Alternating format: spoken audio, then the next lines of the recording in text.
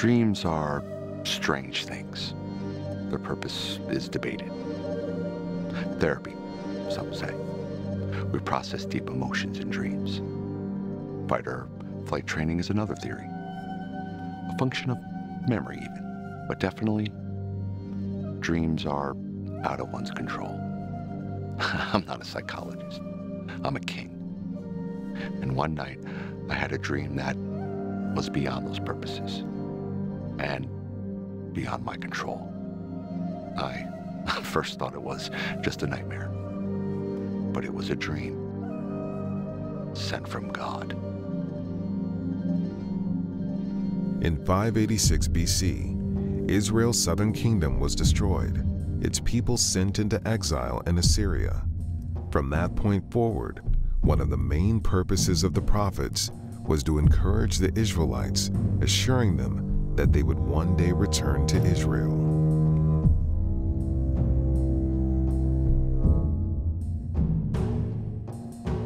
I was the king of Babylon, an ancient city located near modern Baghdad, Iraq. The Assyrians had been the dominant power in the region until we Babylonians defeated them in 612 BC. 26 years later, we again defeated Judah and abducted all the people, relocated all the people to Babylon. Does this sound cruel to you? Essentially, kidnapping an entire people group, taking them far from their homeland. We learned to do this from the Assyrians. When you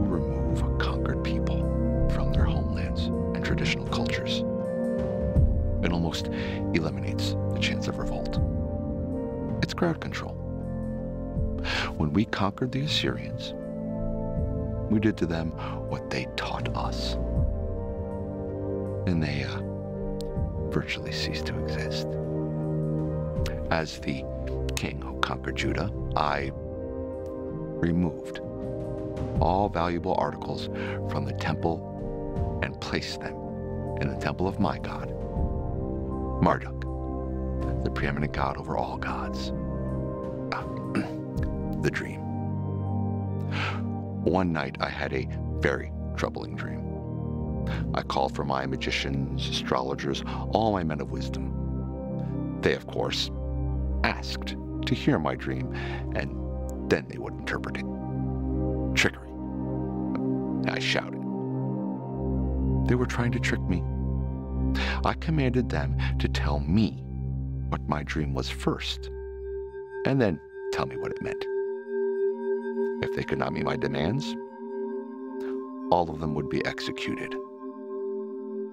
It quickly became apparent they could not meet my demands. No one can do this, they said. I commanded the mass execution of all the wise men in Babylon. My men came to arrest Daniel. Using his wisdom and brilliance, quite honestly, he somehow convinced them and me to give him a little more time to meet my requirements. Daniel went straight to his friends, straight into prayer to their God.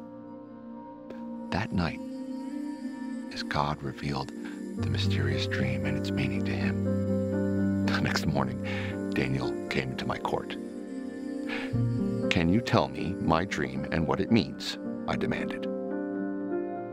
Daniel did the strangest thing.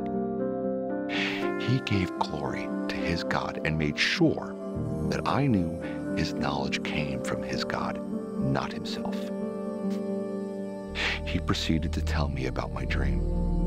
There was a, a giant statue with a head of gold, chest of silver, belly and thighs of bronze, legs of iron, and feet of iron and clay. He described a stone that destroyed the statue and then grew to be a mountain. Hearing the details of the dream reawakened all of my dread. I hadn't told a soul about the dream. His knowledge was divinely inspired by a powerful God. And I knew it. He, he then revealed that the gold head represented my government, and the other portions of the statue represented kingdoms that would follow me. I knew that his interpretation was true. I threw myself on the floor in front of him. I gave his God honor and glory. I immediately placed Daniel over all of Babylon and its wise men. I made his three friends administrators over the kingdom. My kingdom grew swiftly. I became the most powerful and wealthy man in the entire known world. It went to my head. I ordered a gold image to be made, 90 feet high. I had it placed in the plain of Dura. It was an image of my God.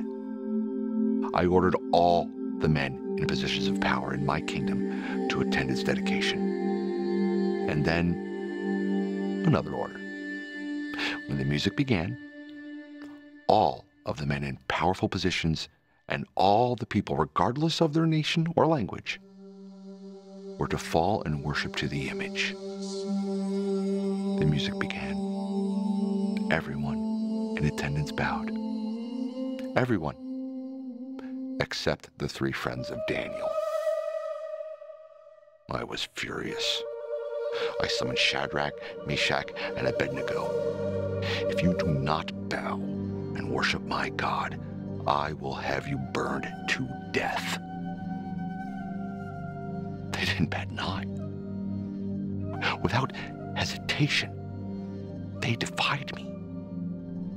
Our God, whom we serve, is able to deliver us from the burning fiery furnace, and he will deliver us from you.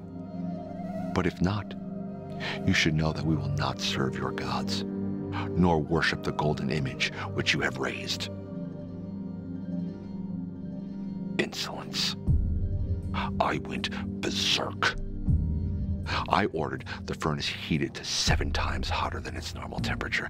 I ordered the three rebels to be tied up right there, while in their robes, trousers, and turbans.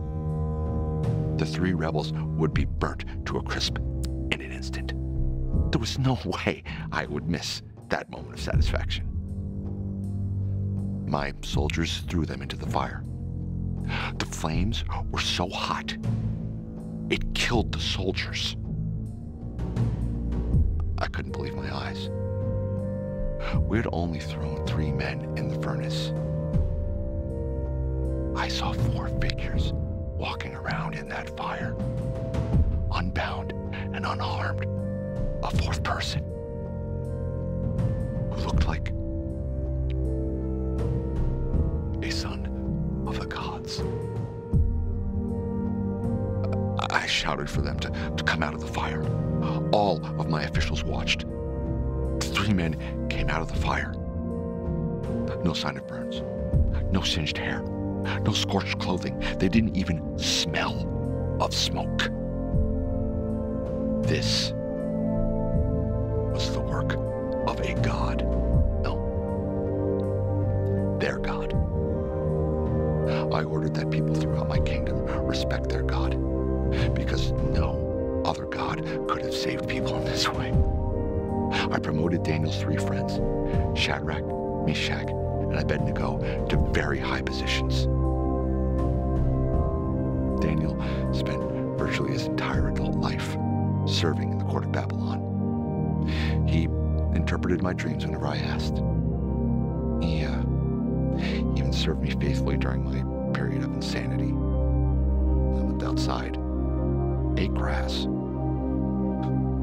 When my sanity was restored, he guided me to praise God and be humble.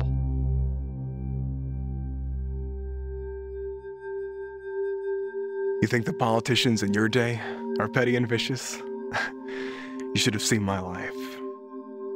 I was a victim of the first wave of deportations of Jews from Judah to Babylon. I lived in Babylon almost 70 years, long enough to see the Babylonians defeated by the Persians. I could not possibly have survived today without totally trusting God. He is the one who is in control I'm his instrument. I trusted him, and he made sure I survived and thrived.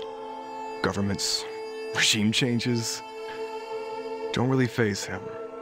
I served four rulers Nebuchadnezzar of Babylon, Belshazzar of Babylon, Darius of Persia, and Cyrus of Persia.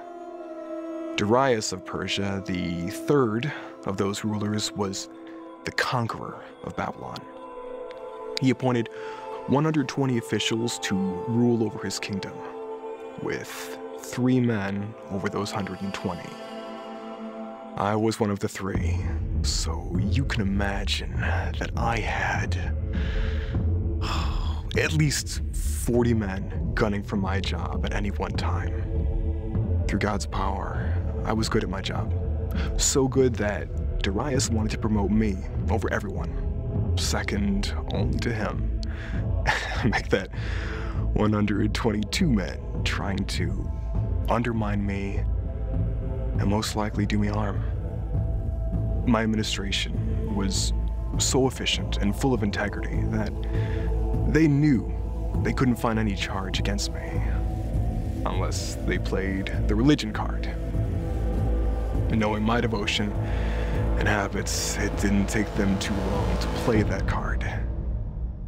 They convinced Darius that no one should pray to any god, but instead pray to him for 30 days upon pain of death. Darius, he was prideful. He loved that idea and decreed it so. In his own mind, he had become a god, much like the Egyptian rulers believed themselves to be gods. You would think he would have asked my advice over such a matter, but he knew I would have advised against it, and he desperately wanted people praying to him. Oh, that's not all. His decree could not be repealed, even by him. You didn't really think that through, though. Pride again? Upon learning of the ridiculous decree, I went home and did what I always did. Opened my upstairs window. It faced the direction of Jerusalem. And I prayed. I did this three times a day, you know. From the courtyard below, I was visible. Just the proof my enemies hoped for. The 122 men sprung their trap and went straight to the king. Checkmate.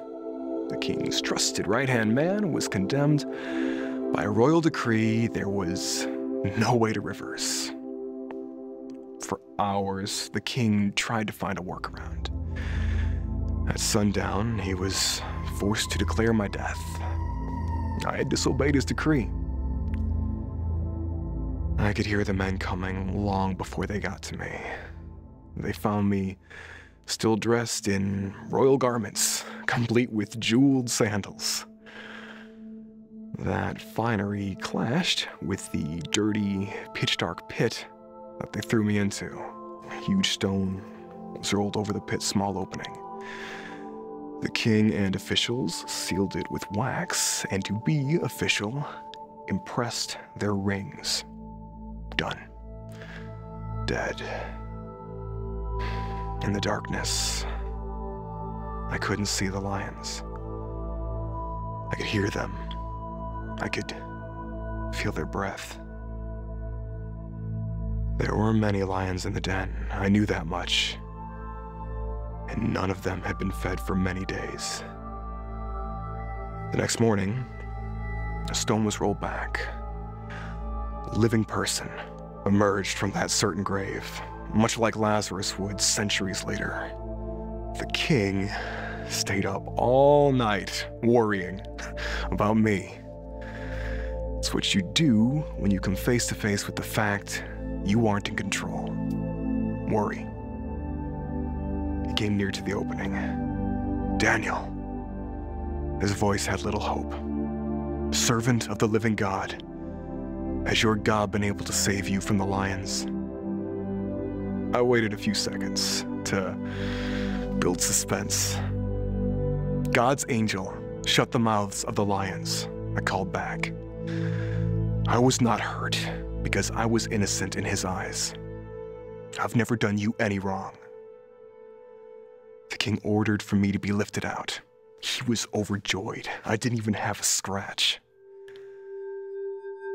Without looking at a single one of them, the king ordered my enemies to be thrown into the den with their wives and children. The lions crushed their bones before their bodies hit the ground. I gave a prophecy about a vision of four beasts. Like the prophetic interpretation of King Nebuchadnezzar's dream, this prophecy had to do with future kingdoms.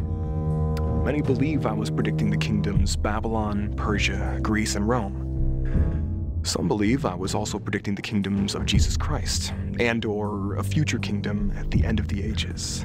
I do want to talk about one more prophecy. One made not by me, but by Jeremiah. I was reading the words of Jeremiah, which I consider to be scripture, and understood that the captivity of Jerusalem would last 70 years. By my calculation, that meant the exile of the Jews would soon be over. Rather than celebrating that joyous news, I went to the Lord in prayer and petition, fasting, and uh, in sackcloth. It's what prophets did to show humility before God. I asked that we be allowed to return to our country so we could serve Him in His sanctuary, in Jerusalem, His holy city. I asked not for our sakes, but for His. We were His people. We carried His name. My gracious God allowed me to live long enough to see the Jews begin to return to Jerusalem in 538 BC. That's when I came to more fully understand my role. My friends and I had been placed in authority that lasted through Babylon's reign and into Persia's long reign we played a large part in protecting the Jews and keeping them faithful to God. We even helped protect the articles from the temple that the Babylonians had stolen. When the Jewish exiles left to return to Jerusalem, we sent 5,400 temple articles back to the temple with them. We were instruments in God's hands. Our job was to stick with Him do anything he asked, even when we didn't understand it, even when our lives were at stake. God was the one in control the entire time. And guess what? He still is.